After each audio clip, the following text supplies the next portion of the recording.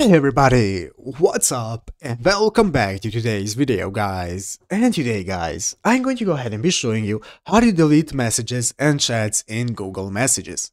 This is a very simple thing to do guys, so make sure to watch this quick and easy video till the very end and follow my steps correctly so you can make sure this works the same for you and that you can do this yourself. But yeah guys, let's get straight into it. So guys, the first thing you want to do is go ahead and open up the official Google Messages application on your mobile phone if you haven't already. And after opening up Google Messages, guys, you'll now be greeted by this main page right here, which is the home page where you can see all the chats and messages that you have.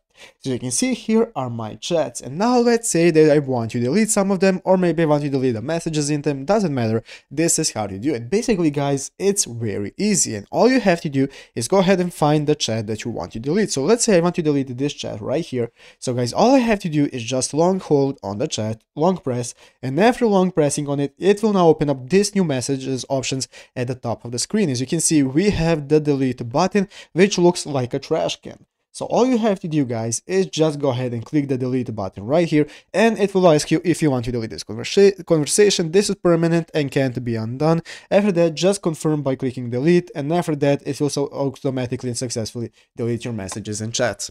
But yeah guys, basically that is it how to do it. So I hope this video was helpful. If it was, make sure to leave a like, subscribe to the channel. So yeah guys, thanks for watching, take care and bye.